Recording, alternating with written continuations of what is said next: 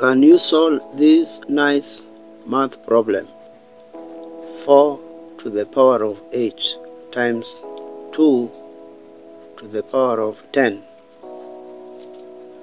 Let us have a common base of 2. Common base of 2. So we can write 4 power 8 as a 2 power 2.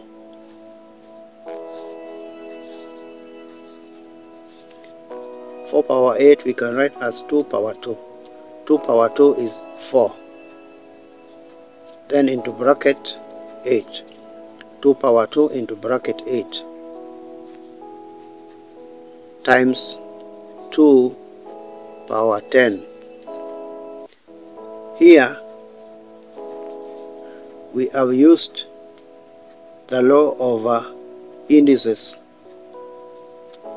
That states that a power m into bracket power n is equal to a power m times n. So we want to apply this law of indices here so we can say that uh, 2 power 2 into bracket power 8 can be written as a 2 power 2 times 8 power 2 power m times n power 2 times 8 which is a 2 power 16 then we multiply by 2 power 10 we multiply by 2 power 10 then we apply the law over indices that states that a power m times a power n is equal to a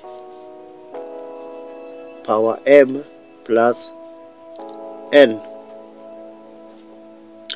So from here we can say that uh, because we are now having a common base this is a common base of 2 common base of 2 and this is a common base of a this is a common base of a which is giving us a power m plus n. Then we can say that 2 power 16